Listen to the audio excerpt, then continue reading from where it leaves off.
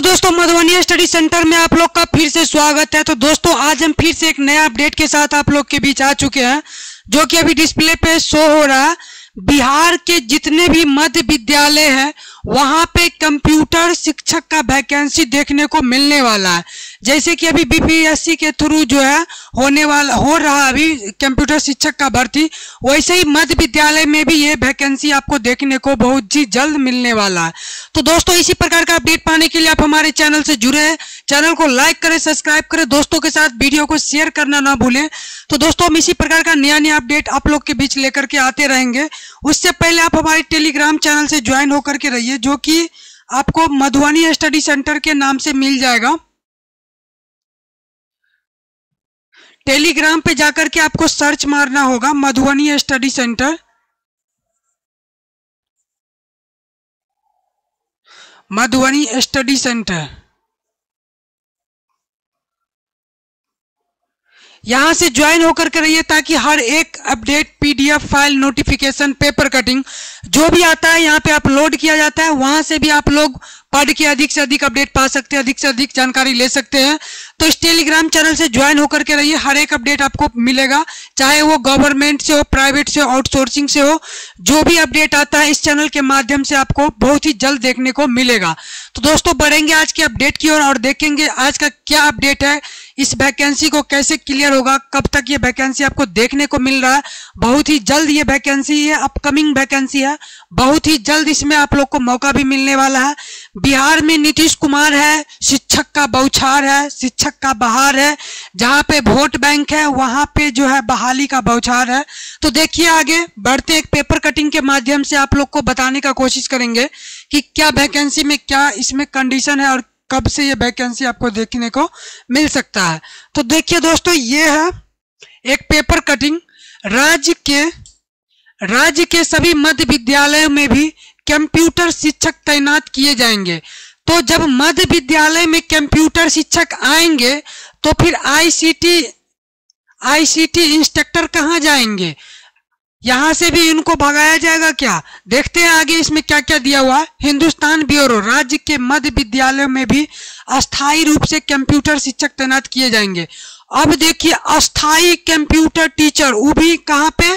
तो आपको देख लीजिए, मध्य विद्यालय में आपको देखने को मिलने वाला है। तो आईसीटी इंस्ट्रक्टर को भी जो है, वहाँ पे लाया गया है, जो कि मध्य विद्यालय में अभी कंप्यूटर से रिलेटेड सारा काम, वो सारा चीज़ देखते हैं, करते हैं। तो देखते हैं आगे, शिक्षा विभाग ने इसकी तैयारी भी शुरू कर दी है। अब देखिए, इनका तैयारी कितना ज़ोर शोर में चल रहा है। उसके बाद देखिए, इसी के तहत कंप्यूटर शिक्षकों की नियुक्ति को लेकर के नियमावली बनाने में विभाग जुट गई है। तो इनका जो नियमावली बनेगा नियमावली बनेगा, वो बनाने में ये विभाग जो है पूर्ण रूप से विलीन है। विभागीय पदाधिकारी बताते हैं कि प्रारंभ से ही सरकारी स्कूलों के बच्चे को भी कंप्यूटर का ज्ञान देने के लिए विभाग की ओर से यह पहल की गई है।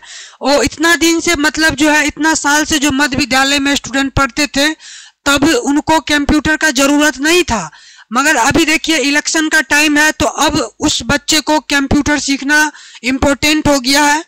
बहाली आना जो है इम्पोर्टेंट है, क्योंकि वहाँ पे उनका वोट बैंक है। तो देखते रहिए, वर्तमान में राज्य के माध्यमिक, उच्च माध्यमिक विद्यालयों में कक्षा नौ से बारहवीं कंप्यूटर शिक्षक कार्यरत है। इसी तर्ज पर मध्य विद्यालय में भी कंप्यूटर शिक्षकों का पद स्थापना किया जाएगा। मध्य विद्यालय में कक्षा छह से आठ तक की पढ़ाई होती है। इनकी नियुक्ति नियमावली पूरी होने के बाद इनके पदों के सृजन पर विभाग प्रस्ताव तैयार करेगा। इसके बाद पद सृजन पर कैबिनेट की स्वीकृति ली जाएगी। स्वीकृति अभी नहीं मिला है। बहुत जल्द देखने को मिलेगा।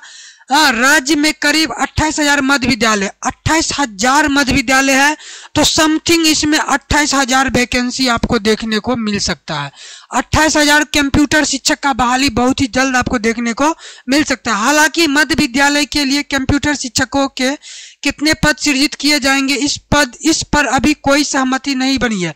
अरे, अट्ठाईस हज़ार मध्य विद्यालय है तो पर मध्य विद्यालय में एक टीचर जाएगा तो अट्ठाईस हज़ार ऐसे ही हो जाता है।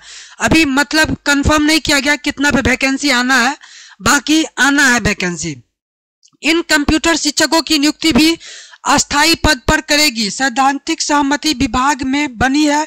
इनकी नियुक्ति भी बिहार लोक सेवा आयोग के माध्यम से कराई जाएगी। मतलब बिहार लोक सेवा आयोग के द्वारा इनका भी जो है, बहुत ही जल्द वैकेंसी आपको देखने को मिल रहा है। मध्य विद्यालय में कंप्यूटर शिक्षक का बहाली और आईसीटी इंस्ट्रक्टर को भगा दिया जाएगा वहाँ से।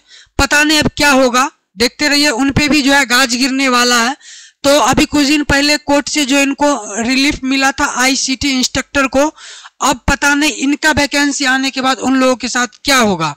तो देखते हैं, जब तक कुछ अपडेट ना आ जाए, तब तक तो बस पेपर में ही रह सकते हैं, पेपर के बारे में ही जानकारी दे सकते हैं।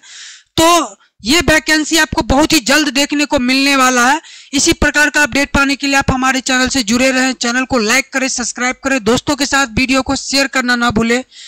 तो ये था आज का अपडेट। इसी प्रकार का जो हम अपडेट देते रहेंगे। मिलते हैं नेक्स्ट वीडियो में। तब तक के लिए धन्यवाद।